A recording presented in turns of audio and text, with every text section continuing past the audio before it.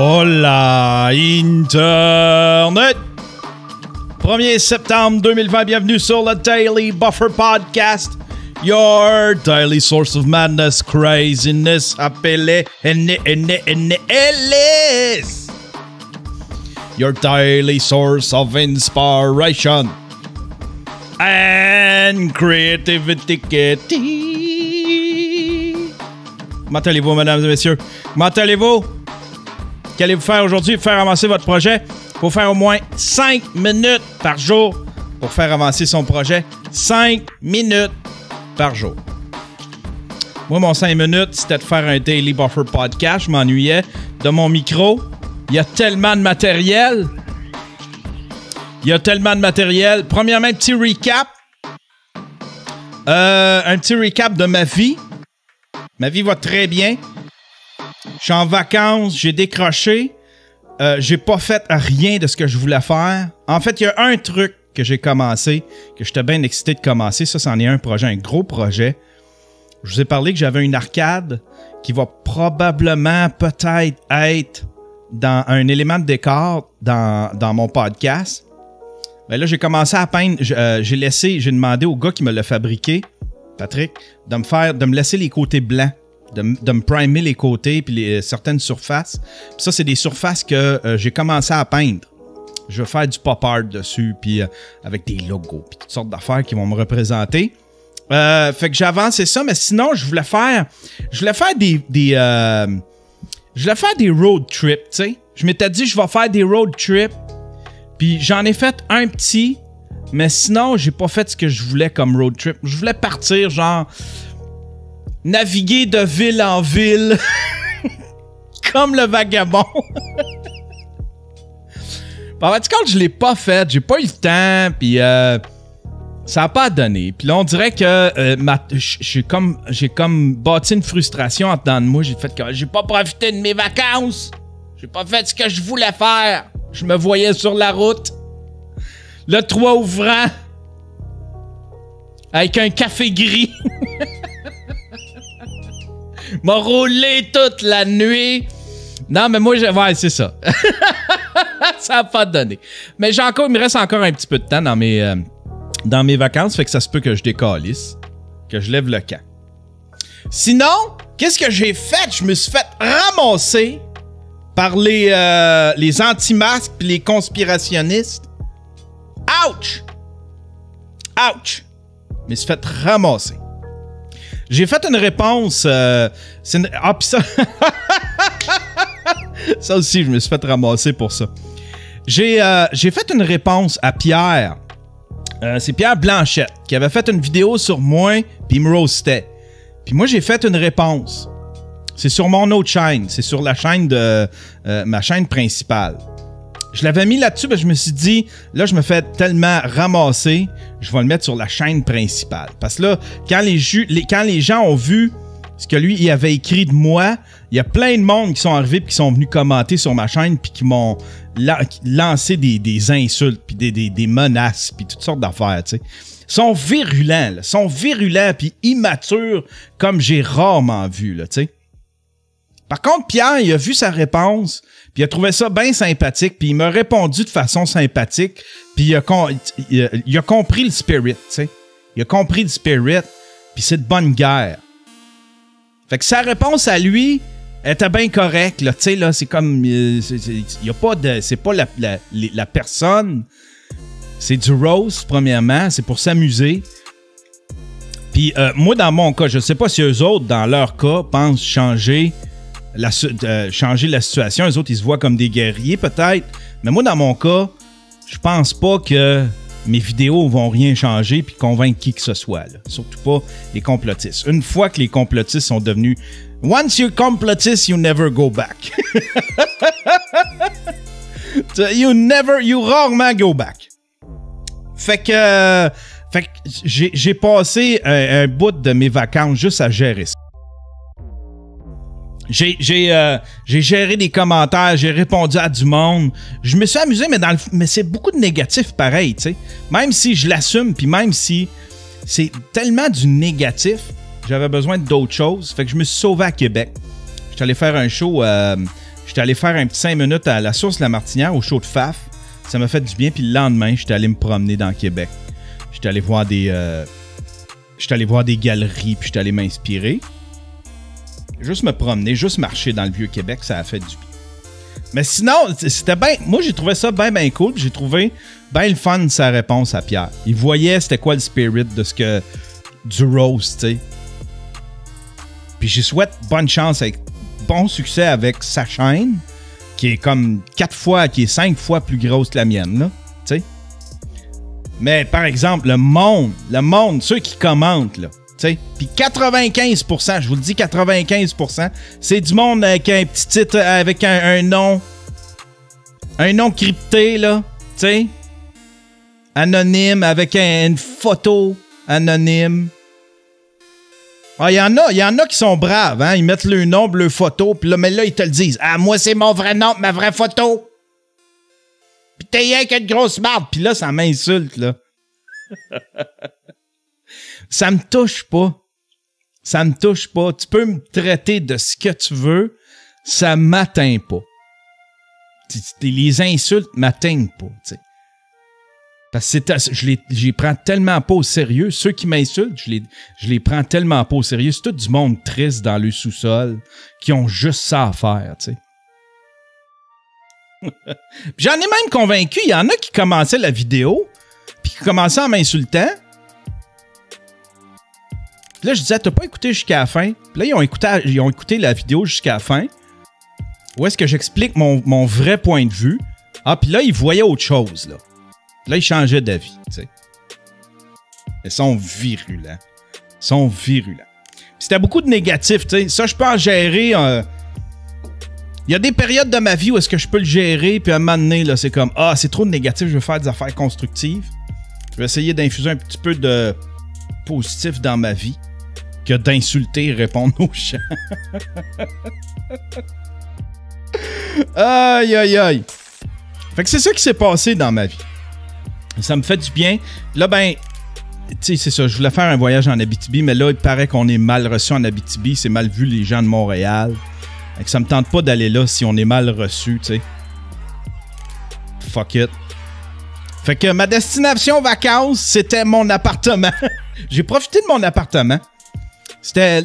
J'ai. Euh, pour, pour, une rare fois, depuis que je suis déménagé, je me suis écrasé sur mon sofa. J'ai fait des siestes dessus. J'ai écouté des films, des moitiés de films. Il n'y a rien qui me tente ces temps-ci, mais j'ai quand même réussi à décrocher un peu en écoutant des films. Mais c'était la première fois que. C'était une des premières fois que je faisais ça. Voilà. Voilà. Sinon, j'ai quelques plugs à faire. Premièrement, ce show-là, il est disponible live publiquement, mais euh, si tu veux le voir, après ça, il va être offert en primeur. Pour le revoir, il va falloir être Patreon. Il va être offert en primeur au Patreon pendant quelques jours. Euh, fait que ça, c'est une première plug. Deuxième plug, je pense qu'il reste des places pour le cours de podcast à l'ENH. Si euh, tu es intéressé par le cours de podcast, euh, la manière que ça va se, euh, que ça va se passer, c'est que il va y avoir un cours en classe dans l'édifice de l'École nationale de l'humour, puis un cours par Zoom. Ça va être huit sessions, puis c'est à tous les mercredis. Fait que si ça vous tente de, si ça vous tente de, vous inscrire, je ne sais même pas c'est combien. J'ai aucune idée c'est combien. Je sais comment moi j'ai payé, je suis payé, mais je sais pas comment vous autres vous payez. Ça va probablement être une des dernières fois que je le donne parce que euh, euh, c'est plus payant.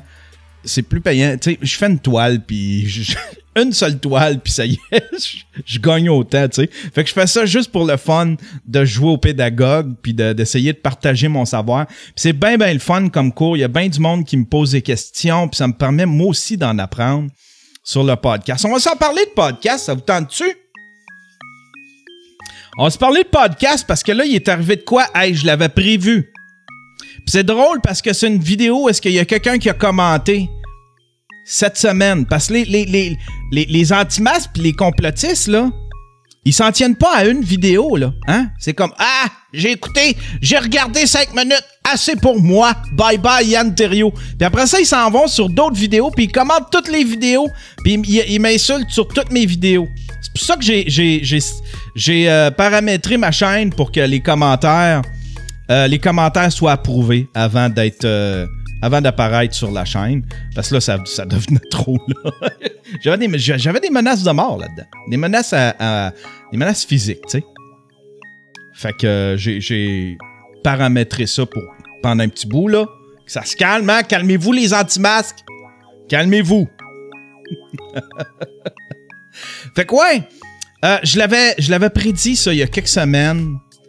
Euh, au début de l'été, Joe Rogan, Joe Rogan qui est passé, qui a accepté un contrat de 100 millions de dollars. Tout le monde me disait, tu sais, Joe Rogan représente symboliquement, il représente la liberté, le, le c'est ça, il représente une certaine liberté, un gars libre, hein, un mâle qui chasse le sanglier avec une corde, avec euh, des flèches puis un arc. Tu sais? Là tout le monde non non hey, Joe Rogan. Il a personne qui va décider pour Joe Rogan, c'est lui qui décide. Ben déjà aujourd'hui, c'était aujourd'hui c'était euh, la migration de ses de, de ses shows, de son show sur Spotify. Puis déjà aujourd'hui, on voit que euh, c'est pas tout à fait ça. C'est pas tout à fait ça. Je, je, l'avais dit que ça allait devenir que Joe Rogan allait avoir de la misère à être totalement lui dans certains cas. Puis souvent, ça apparaît subtilement, ça. J'ai travaillé pour les médias, ça apparaît subtilement, tu sais. Ce genre de, ce genre d'espèce de, de- quand tu deviens la bitch, là, quand t'es la bitch, ben là, là, il est la bitch de Spotify. Souvent, ce qui arrive, c'est genre, ben là, euh, Joe, euh, excuse-moi, c'est parce que t'as parlé, de telle, telle entreprise dans ton dernier épisode. C'est parce que, tu essaye de plus trop en parler, c'est parce que c'est un bon commanditaire à nous autres, ça représente des sous, puis... euh, fait que là, ton premier réflexe en tant que créateur, que tu sois Joe Rogan ou, ou que tu sois euh, qui que tu veux, c'est Ah, ben, ah, crime, désolé. Puis là, tu t'en veux. Là, c'est déjà un premier pas vers la censure. Mais là, il y a une liste. Avec la migration, ils ont, ils ont- ils ont migré euh, tout le show. Sauf un paquet d'épisodes. Puis ça a sorti aujourd'hui. Il y a quelqu'un qui a compilé une liste des épisodes qui n'ont pas, euh, ont pas été migrés sur, euh, Spotify. Ça, c'est bien inquiétant. On peut aller le voir. Euh... Tiens, c'est cette liste-là ici. C'est cette liste-là ici. Je sais pas si je peux la, grossir un peu. C'est euh, ben ben des, des, des, des, des noms qui, euh, qui reviennent. Tiens.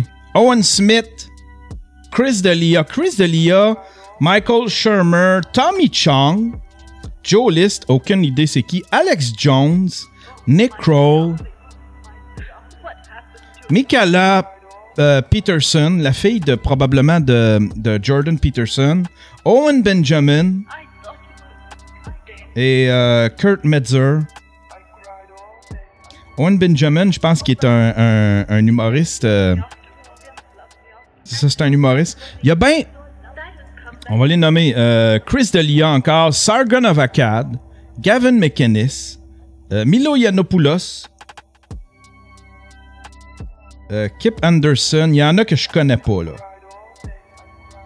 Mais pour la plupart, là, quand on regarde la liste, c'est tout. C'est soit. euh, c'est soit du monde euh, de droite, du monde qui ont été déplatformés, des fois injustement, du monde qui ont été totalement déplatformés. Milo, Milo Milo Yiannopoulos, Gavin McInnes, ça c'est Alex Jones, euh, euh, Sargon Akkad, ça c'est tout du monde qui ont été déplatformés. Fait que ça c'est un lien, c'est une corrélation qu'on peut faire.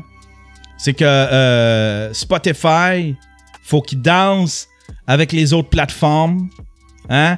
Faut qu'il aille euh, dans le même sens que toutes les autres plateformes, c'est-à-dire Patreon, YouTube, iTunes et Google, toutes les, euh, et Twitter, toutes les grosses plateformes qui ont déplatformé euh, ces personnes-là. Fait que, tu sais, Joe Rogan est pas si libre que ça, là. Il est pas si libre que ça. Tu sais? Il y en a-tu d'autres? Il y a Joey Diaz, qui est un de ses bons chums, qui est un peu conspirationniste. Daryl Wright. Daryl Wright. C'est qui Daryl Wright? Attends, on va aller voir dans Actualité plutôt.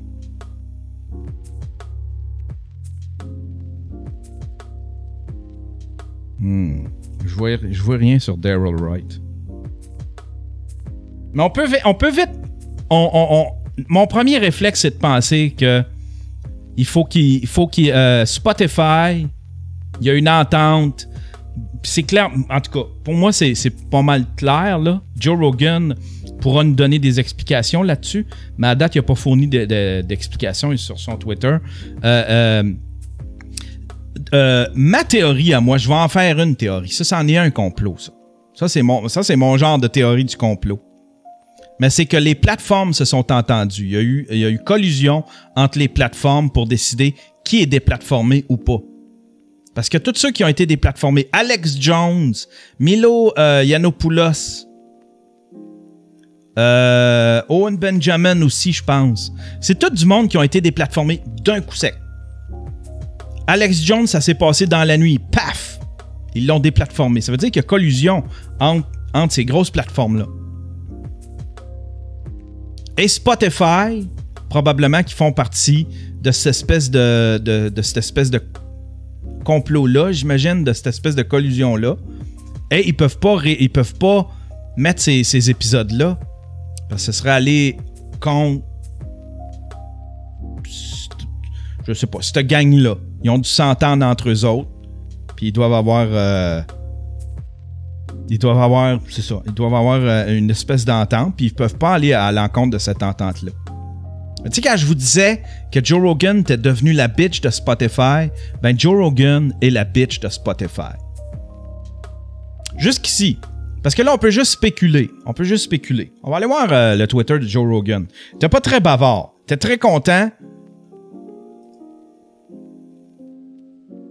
C'était où? C'était ici, je pense. On va juste faire un petit refresh. Ça, c'est le Twitter de Joe Rogan. We're up and running on Spotify.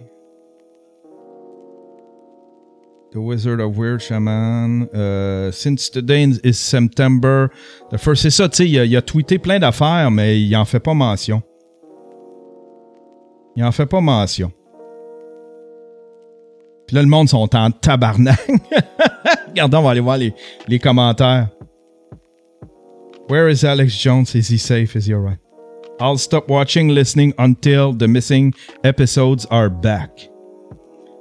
Hey man, you want an up and coming comedian? Oh, voyons donc. Uh, not cool, dude. Stick to your word. Minus every meaningful episode you ever made, you should have gotten on BitChute and uh, D Live, my man. Spotify has deleted uh, dozens of episodes of Joe Rogan Experience from this platform. Here are some notable deletions. C'est tout du monde qui ont été déplatformés, tu sais. Puis pourtant, l'épisode avec les, les, deux épisodes avec Alex Jones, c'était deux excellents épisodes. Fait que là, attendez-vous pas à revoir Alex Jones au, podcast de Joe Rogan. Attendez-vous pas à voir des gens qui peuvent venir s'exprimer. Tu sais, Alex Jones, c'était une des seules places où est-ce qu'il était venu. Euh, Joe Rogan lui avait offert une place pour qu'il puisse s'exprimer. Qu'il puisse dire c'était quoi sa version des faits. Qu'on y croit ou qu'on y croit pas, c'est sa version des faits quand il a été déplatformé, tu sais.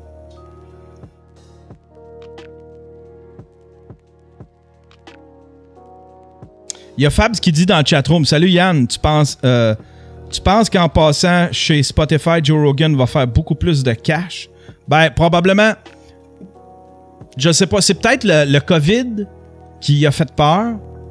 Il a eu peur de perdre. euh, il a eu peur que ça ralentisse au niveau des, des commanditaires, mais il a accepté, il a accepté ce deal-là. C'est clairement pour l'argent. C'est clairement pour, l'argent parce que la visibilité, c'est pas de la visibilité de plus. Là. Spotify, c'est pas de la visibilité de plus. Il y a des gens qui vont, en transférant. euh, en termes de visibilité, YouTube est plus payant pour Joe Rogan que Spotify. Il sait que en migrant comme ça, il va perdre des gens. Il y a des gens qui suivront pas parce que ça ne leur tente pas d'installer, d'ouvrir un compte, un autre compte sur Spotify, qui était sur le bord, je sais pas, qui écoutait juste comme ça passivement Joe Rogan. Puis là, ils le retrouveront pas sur YouTube, ils penseront pas à migrer vers Spotify. Fait qu'il va perdre probablement une partie de son auditoire, puis ça, il sait. Fait que si c'est pas pour l'auditoire, c'est clairement pour l'argent. Il a dû se dire, bon ben, un dernier petit coup d'argent, avec un gros contrat. Mais là, ça, c'est épouvantable. C'est épouvantable, tu sais. Là, il y a du monde qui disait, oh, ouais, mais c'est peut-être par sujet. Non, c'est pas par sujet, là, tu sais, là. Les gens qui ont été déplatformés, euh, quand ils sont allés sur le, podcast de Joe Rogan, ils n'ont rien dit d'épouvantable. Ils n'ont rien, rien dit d'épouvantable. tu sais. C'était toutes des shows qui passaient euh, comme du beurre dans le poêle. Clairement, pour l'argent, il y en a clairement euh, déjà bien. Clairement, pour l'argent, il y en a euh, déjà bien assez. Ça file vraiment sell out. effecti- Effectivement. Ça va-tu faire comme Ninja? Ah, je sais pas. Hmm.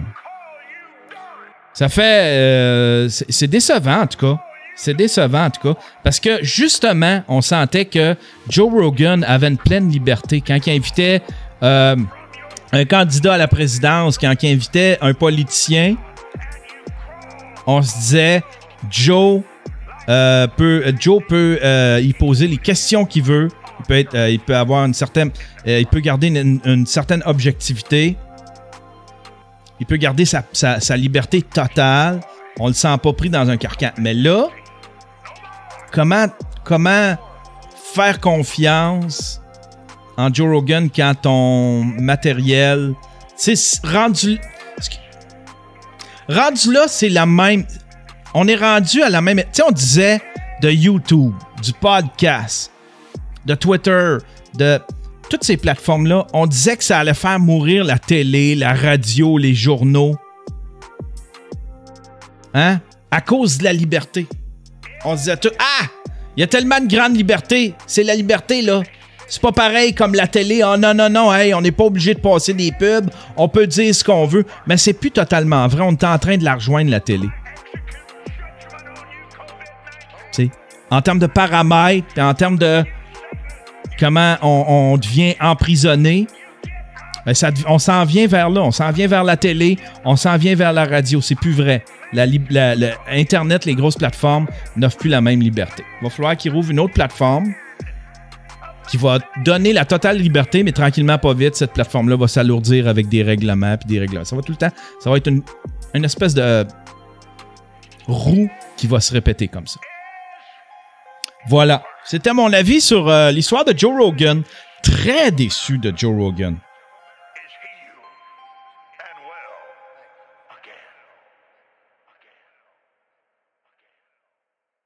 Tommy Chong. Tommy Chong, pourquoi? Tu sais? Pourquoi?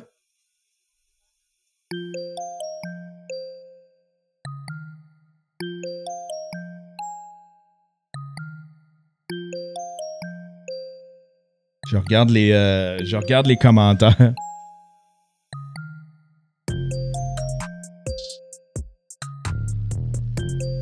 With the book burning of Alex Jones, Milo, Stefan Molinus, Molinox, and anyone else corporate liberal deemed too dangerous, uh, too dangerous to include. Censorship rage. Je sais pas si on peut appeler ça de la. C'est de la censure. Je sais pas si on peut appeler ça de la censure. C'est de l'autocensure. C'est clairement de l'autocensure. On verra. J'ai bien hâte euh, parce que ça va faire jaser ça. C'est pas tout le monde qui. Il y a des gens qui vont. euh, les, les médias vont en parler de ça. Ça restera pas comme ça. Les gens vont parler, il y, a, des médias qui vont le soulever. Puis Joe Rogan va falloir qu'il réponde à ça. Probablement qu'il va répondre dans un prochain épisode de son podcast. Ah, ben voilà. Sinon, quoi de neuf? Ah, j'ai pas mal. On a. euh, Clic du plateau m'a fourni beaucoup de sujets. On va y aller vite fait, mesdames et messieurs. On va y aller vite fait. Euh. Tiens, il y a lui ici. Ça, c'est sur la page des Illuminés du Québec. C'est quoi? Qu'est-ce qu'il y a à dire, lui? En tout cas, il y a de plus en plus de monde qui, me- qui me font salut puis qui klaxonnent quand je me promène avec mon drapeau sur mon char. Pourquoi? Pourquoi? Pourquoi il est à l'envers, ton drapeau, buddy? Klaxonne esti, quand je me promène avec mon drapeau sur mon char.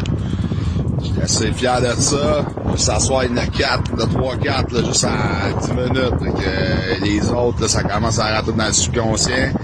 C'est perfect. On lâche pas tout le monde. Ah ben c'est sa façon de protester.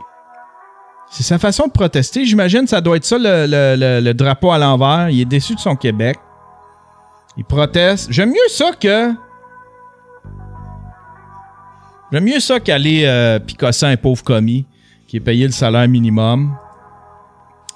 Euh, ça ici, euh, tiens, lorsqu'un anti-masque devient un pro-masque. Lorsqu'un anti-masque devient un pro-masque.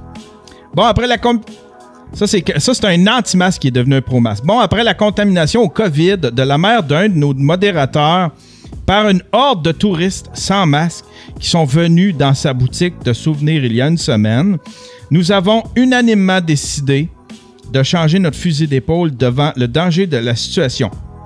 Je n'aime pas forcément mettre un masque.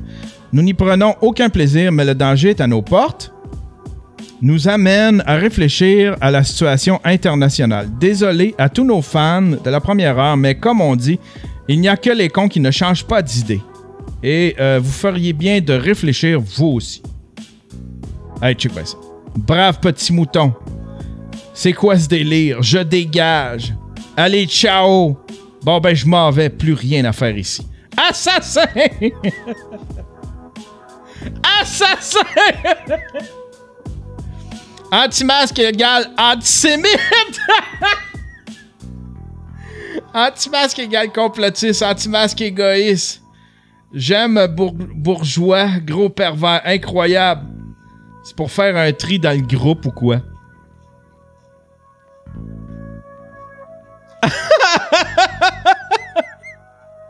moi, hey, moi là,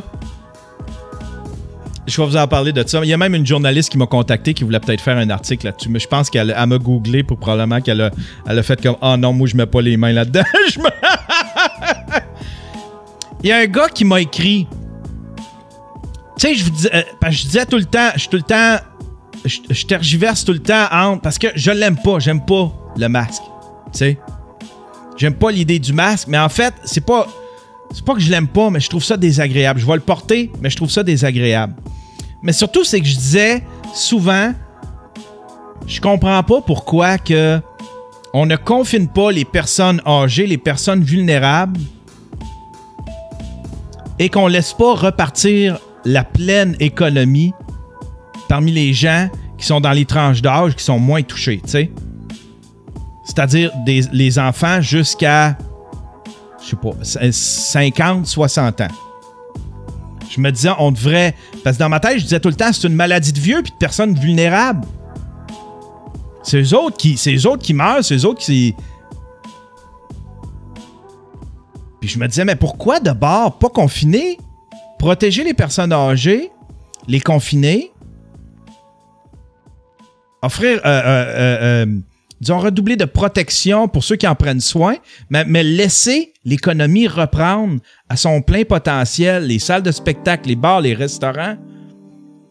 Laisser ça repartir. Tu J'ai un de mes amis qui m'a écrit, il dit, je il dit euh, va voir dans le groupe. Il y a un groupe qui s'appelle. Je veux. On dirait que j'ai peur de le nommer parce que je sais qu'il va y avoir des complotistes qui vont se retrouver dans ce, dans ce groupe-là. Mais il y a un groupe, c'est un groupe d'entraide entre personnes qui ont attrapé le COVID. Qui l'ont eu. Il y en a qui sont guéris, il y en a qui l'ont présentement, puis il y en a d'autres. Admettons, il y en a d'autres, c'est des parents d'enfants qui l'ont peut-être. Mais c'est un groupe d'entraide entre personnes qui ont le COVID. Et quand tu te mets à lire ça, j'ai suivi ce groupe-là, là, j'ai compris c'était quoi. J'ai compris c'était quoi cette maladie-là. C'est beaucoup plus sérieux qu'on le pense. Il doit avoir à peu près 20 publications par jour des gens. Ça, ils en parlent pas. C'est là que le gouvernement, je trouve, qui fait erreur. S'il veut vraiment nous convaincre de porter le masque, nous convaincre de la véracité de ce virus-là, de sa, euh, sévérité, il devrait en parler des séquelles, les effets secondaires. À chaque jour, il doit y avoir une dizaine, une vingtaine de publications des gens qui, ont été guéris il y a 4 mois, 5 mois, puis soudainement, il y, a des, euh, il y a des séquelles qui reviennent, ou d'autres qui restent avec des séquelles. c'est toutes des affaires pas mal sérieuses. Il y a perte de goût, perte d'odorat. Mais c'est pas tout le monde qui le retrouve. Il y en a qui le retrouveront jamais. Il y en a d'autres qui ont des problèmes de cœur depuis qu'ils ont eu cette maladie-là. Même s'ils sont guéris, même, même s'ils ont plus le virus. Qui, sont, qui font partie des premiers, là, il y a 3-4 mois, puis qui encore à ce jour ont des gros problèmes. Des problèmes pulmonaires, des problèmes au cœur. Il doit en avoir une dizaine. Puis c'est tout le temps, hey, vous autres, avez-vous ça? J'ai comme mal à poitrine, puis depuis que j'ai eu ça, puis euh, je suis pas capable de remonter, j'ai plus le virus, mais je suis toujours fatigué, j'ai toujours le cœur qui pompe, j'ai de la misère à respirer. T'en as tout le temps une trentaine en bas qui font comme Ouais, moi aussi j'ai ça. Moi, ça a disparu au bout de cinq, au bout de trois mois. D'autres, moi, ça n'a pas encore disparu. Cette maladie-là, elle est grave. Ça m'a fait réaliser que euh, tu sais, ça, il en parle pas. Le logo, il en parle pas. Arruda en parle pas des effets secondaires puis des séquelles, mais ça laisse des séquelles. C'est pas juste une histoire de mort. Voilà. Fait que ça, ça m'a fait. Disons, ça m'a fait changer d'idée ou ça m'a confirmé que je devrais. que cette maladie-là existe. C'est pas une petite grippe. Hein? Une grippe, tu t'en remets au bout de une semaine, deux semaines. C'est pas une petite grippe comme Alexis Cossette arrête pas de le dire. C'est pas plus grave qu'une grippe. Si tu comptes les morts, peut-être. Mais si tu comptes les effets secondaires, si tu veux rester avec de quoi au cœur toute ta vie, hein? Perte d'odorat, perte de goût, il y en a qui sont c'est pas encore revenu. Puis il y a des docteurs qui disent que ça peut, il y en a pour qui ça reviendra probablement pas.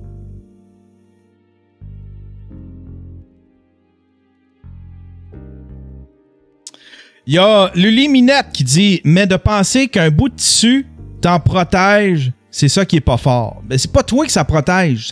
ton, ton masque à toi te protège pas toi. Ton masque à toi protège les autres. Ça, ça a été dit depuis le début, là, tu sais. Depuis le début qu'ils ont commencé à assumer que le style de masque, c'était efficace, au lieu de nous mentir. Ça, c'est une erreur de Arruda puis de, de Legault. C'est que pour nous convaincre, ils ne savaient pas, ils savaient probablement pas si le masque était efficace ou pas. Il était efficace pour les infirmières, mais il n'était pas efficace pour, les gens. là, pour pouvoir protéger les stocks, ils ont commencé à nous mentir. Non, non, c'est inefficace. C'est inefficace. Ils ont menti au monde, puis là, les, gens, ils n'ont pas, ont, pas confiance. Puis à cette heure, ils payent pour ça. Ça, c'est une grosse partie de pourquoi ils payent. Ils ont menti au monde. Puis c'est pas juste parce qu'ils ne savaient pas. ils ont exagéré la patente. Ils disaient que c'était inefficace. Voilà. Fait qu'un anti-masque qui est devenu un pro-masque. Ça, c'est quoi ça? Euh. Ça, c'est quoi ça? Tiens, le moron de Joe, le dashcam. Le moron de Joe.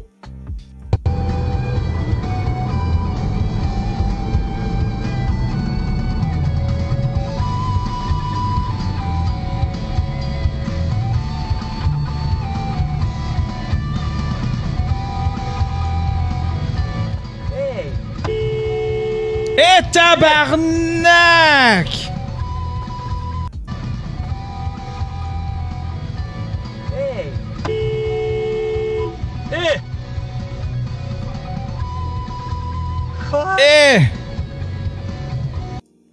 Ticoun.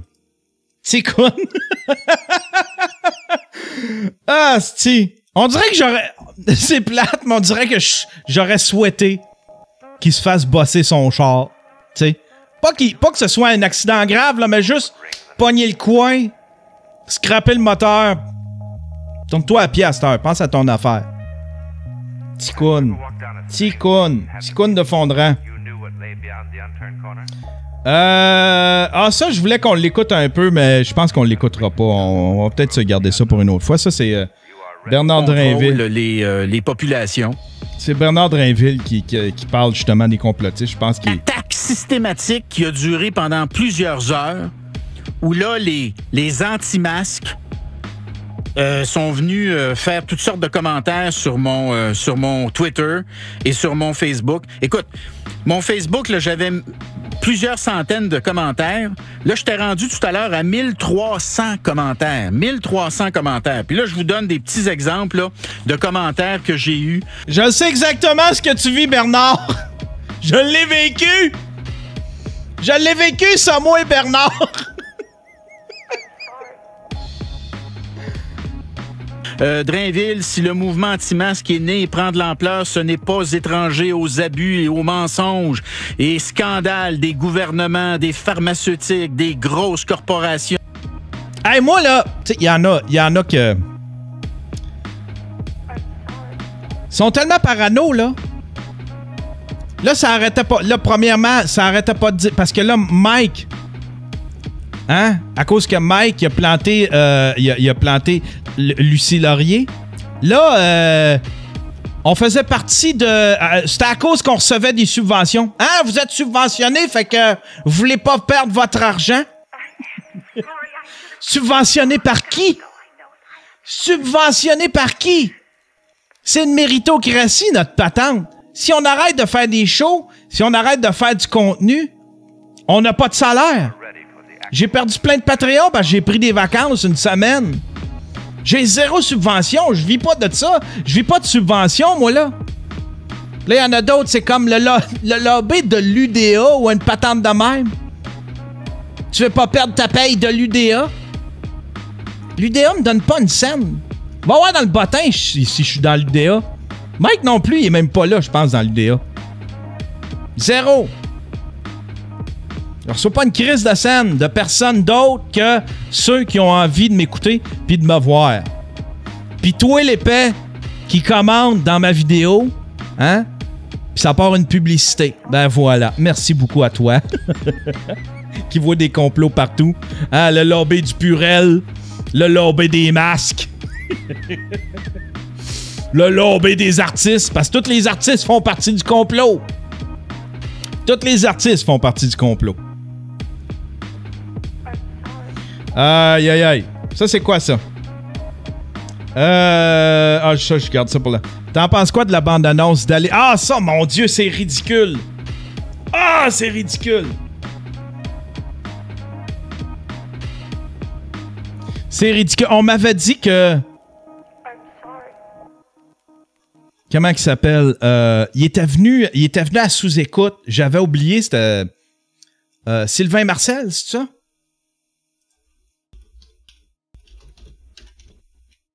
Sylvain Marcel. Ah, c'est ça. Sylvain Marcel était venu à sous-écoute, puis il avait parlé que il y avait un projet secret, qu'il travaillait sur un projet secret. Puis il nous en parlait, puis il disait qu'il faisait, il faisait un René Angélil dans un film inspiré de la vie de Céline. En fait, c'est la vie de Céline, mais vu qu'il n'y avait pas les droits sur rien, ils ont décidé de changer tous les noms. Fait qu'au lieu de Céline, c'est Aline. Genre de stupidité de même.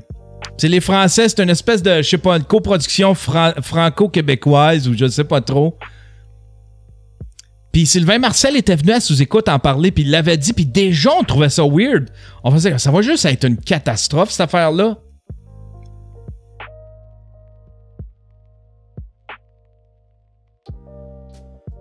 Fait que. fait que là, aujourd'hui, il, y a, la bande-annonce qui est sortie. Ah, j'hésite à, vous la faire. Euh, on va l'écouter silencieusement. Mais c'est euh, épouvantablement. Ça a de l'air épou. Premièrement, celle qui la joue a 50 ans, puis on essaye de nous faire croire.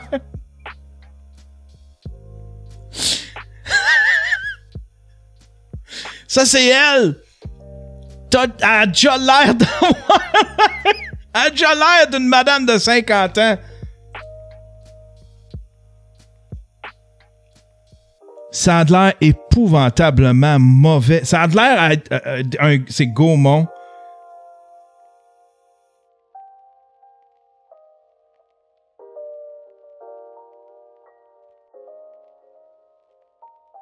Ça a l'air épouvantablement mauvais.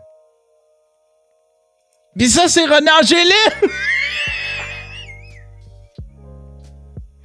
Pauvre Sylvain Marcel, t'aurais jamais signé ça, ça va être une grosse catastrophe. Ça va être une grosse catastrophe. Check ça! Céline a l'air. Céline est supposée d'avoir quoi? 16 ans, 15 ans là-dessus? Elle a l'air d'une vieille de 60 ans.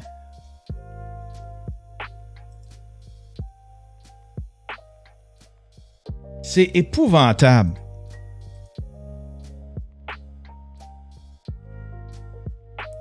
Ils vont te scraper ça.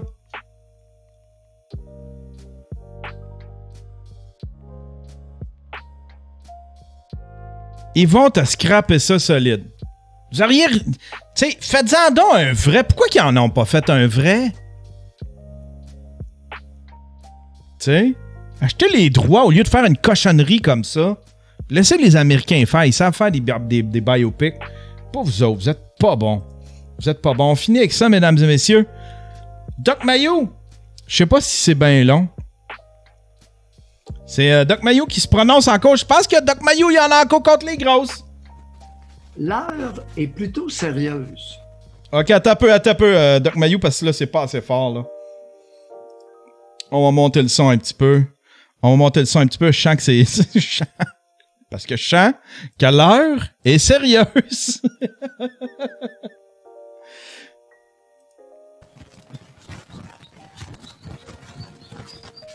Parle! C'est rare que tu, comme vous m'avez entendu, me dire inquiet. Ah, ah, il est inquiet. Ce matin, je suis inquiet des ceux qui s'inquiètent pas Il s'inquiète pas de pour quoi. leur santé, leur sécurité. Ah. Je ne. Vois-tu, dans l'inquiétude, il y a l'inquiétude légitime, l'inquiétude fondée sur des éléments qui génèrent une certaine peur.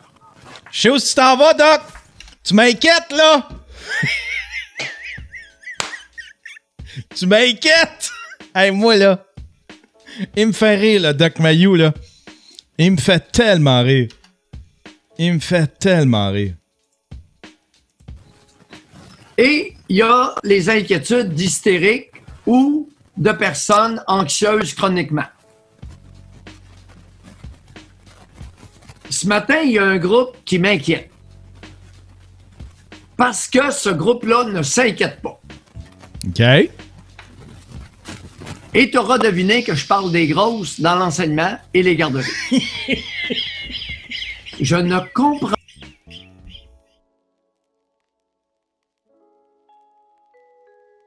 Doc Mayou, Doc Mayou, il y, a- de quoi contre les grosses, là. Il, il est parti, lui, c'est son combat à lui, les grosses.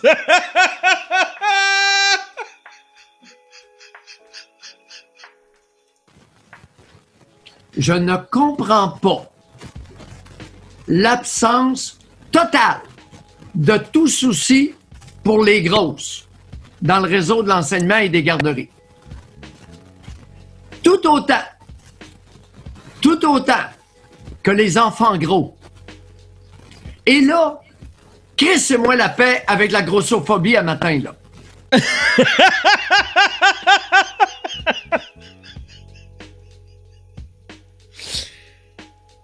Je reste open-minded.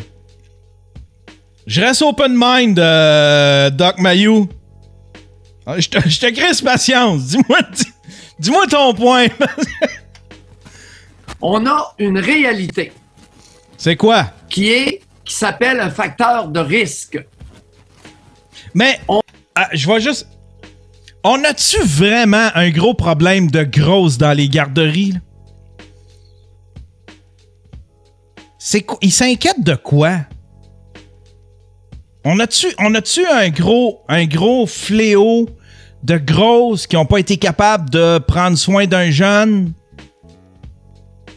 Ils s'inquiètent-tu qu'ils soient pas capables de ramasser les jeunes si jamais le feu prend? Trébuche tombe sur le jeune, l'écrase, le tue? Tu t'inquiètes de quoi, Doc? On a-tu un problème? On a-tu un si gros problème que ça? J'ai jamais vu ça aux nouvelles, moi.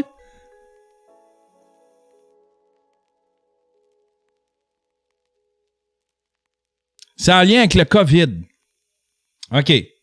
On sait maintenant, en ce 27 août 2020, que l'obésité est une maladie qui est un facteur de risque important d'être plus malade, Ouais, ben d'aller le aux sait. soins intensifs et même de mourir Ouais. si vous attrapez le virus chinois. Ah! ah, lui, ah, lui, regardez comment il aime- Regardez, il a- lui, il appelle ça le virus chinois. Il n'y a plus personne. Il y a plus personne qui dit ça, là. Même Trump, je pense que c'est plus, il dit plus ça, là, tu sais, là. Mais Doc Mayou, il aime ça, à le mettre dans la face du monde. il appelle ça le virus chinois. Je t'aime, Doc Mayou, je suis en amour avec toi. esti. Je t'aime. C'est pas beau, c'est pas joli, mais je recommande ce matin que les grosses dans l'enseignement et les enfants gros demeurent chez eux. Les enfants auront de la scolarisation à la maison et les grosses pourront s'occuper des enfants gros. Oh. La misère.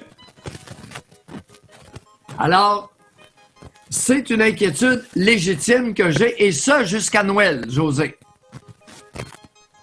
On se donne trois mois, puis dans trois mois, ben, on pourra voir, mieux évaluer.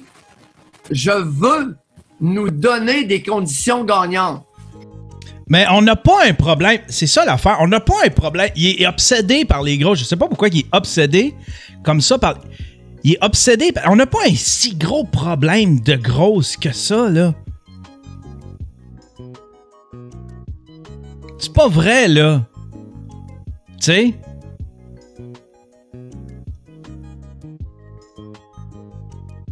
C'est pas un fléau, c'est pas. Euh... Voyons donc. Voyons donc, Doc Mayou. Pourquoi t'obsèdes avec les grosses de même? On n'a pas un gros problème de grosses. Je déteste perdre. Hier, on a eu zéro nouveau décès en 24 heures de la COVID dans tout le Québec. Et sans cas d'infection. On ne se réjouit pas trop vite. C'est peut-être pour ça, parce que c'est c'est peut-être C'est des personnes âgées qui meurent. Il y a probablement, oui, il y a probablement des personnes euh, obèses là-dedans, mais c'était surtout des personnes âgées, tu sais. ça qui fait en sorte que ça inquiète plus personne. Bon. C'est- C'est peut-être ces Bon. chiffres-là qui font en sorte qu'il y a peut-être un relâchement aussi. Mais euh, oui, je le sais. Après Puis au tout niveau, là, Oui. puis au niveau des enseignantes, il n'y en a pas. Déjà, il y en manque dans le réseau scolaire. Ouais, exactement. Hein? Laisse les grosses faire. C'est les autres qui s'occupent de nos jeunes. Ma grand-mère, là, était grosse. Elle a élevé neuf enfants. Elle en a élevé neuf. Probablement mieux que les parents d'aujourd'hui. En tout cas, elle est meilleure. Est meilleure. C'était une maman qui était capable. Tu sais, t'as neuf enfants, faut que tu fasses à souper à ça, faut que tu ramasses. Faut que t'es guires pour l'école. Faut que t'en prennes soin. Faut que tu, laves le linge, toute la patente. Hey, t'en as neuf en même temps. Voyons donc, Mayou, Chris, ta mère, ta mère. Vous étiez combien chez vous? Fait que pensez-vous qu'ils vont mettre les grosses chez elles? Oui, on- n'a pas le choix. Regarde, Je pense Attention. pas, là. Hey, Il en manque mille qu'on les ait, là, dans tout le réseau, là.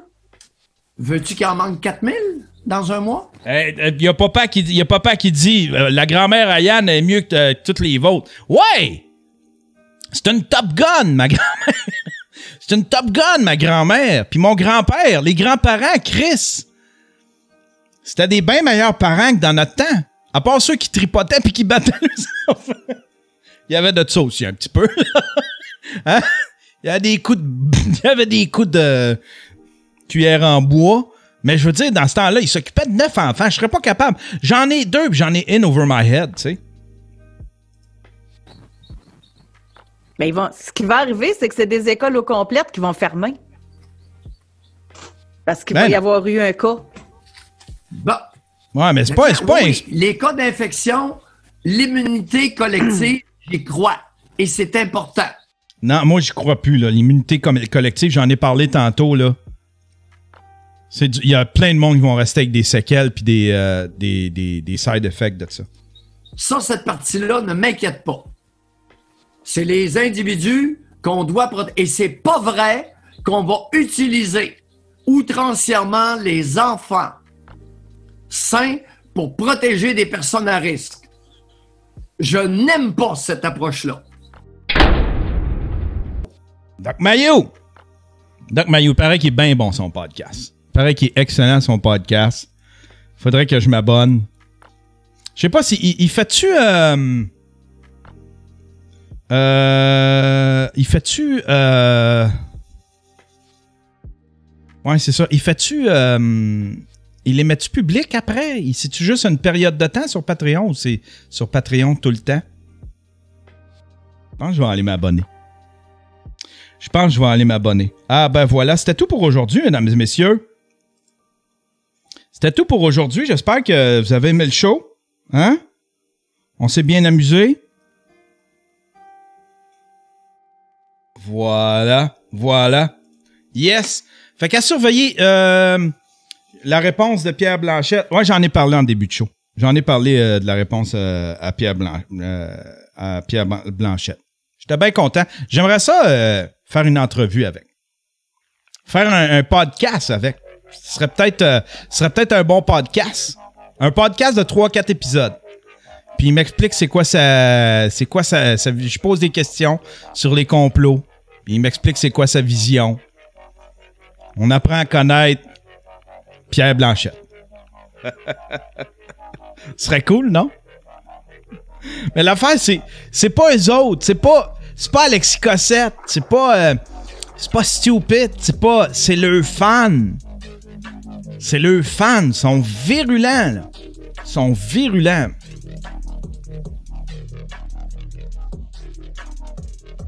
Hey, les menaces de mort puis toute la patente.